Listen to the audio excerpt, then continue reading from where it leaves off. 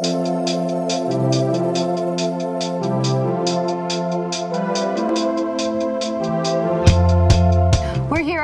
Easley's Costume Shop, and I'm joined now by Debbie Easley, owner. And thank you so much for giving us your time right now. I know it's the busy season, and I imagine it's also a little sentimental this time around, being that you guys are closing the doors here after 72 years. What prompted that decision?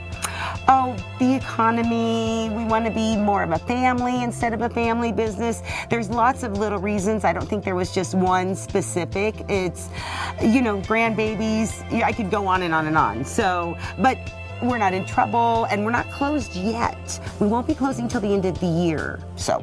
Very exciting, and I know that four generations of your family have worked here. Mm -hmm. What has it been like, the dynamic, to have this family business?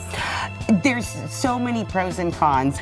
Sometimes Christmas is great. Other times it's like, oh, can we just eat and leave? We've seen you for, you know. So right, right. there's there's lots of good and bad. I think that's one of the things we're looking forward to is being able to spend more family time together and enjoying each other without because we're always talking and thinking about the business. So it'd be mm-hmm. nice to kind of punch out, which we never do. And Easley such a Valley favorite place to go to. What's been the thing you're most proud of?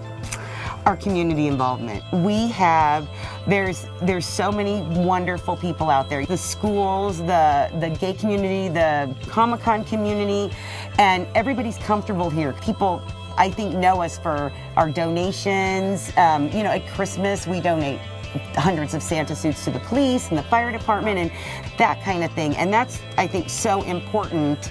And you guys aren't completely closing the doors after Halloween. What are the plans throughout the end of the year? Well, uh, we're kind of playing it by ear. The projection, if you will, is we're gonna have a great Halloween, mm -hmm. and then you know we still have Thanksgiving and Christmas, and we still have all of those costumes. So we're planning on staying open until the end of the year. Now, if, if we don't have a buyer for the property, we might even stay open a little longer. So until then, I'm still here. And Debbie, don't go too far because after all, we are here. So coming up in a little bit, we'll talk about the costumes that people can put on for Halloween. I love it. We'll be here.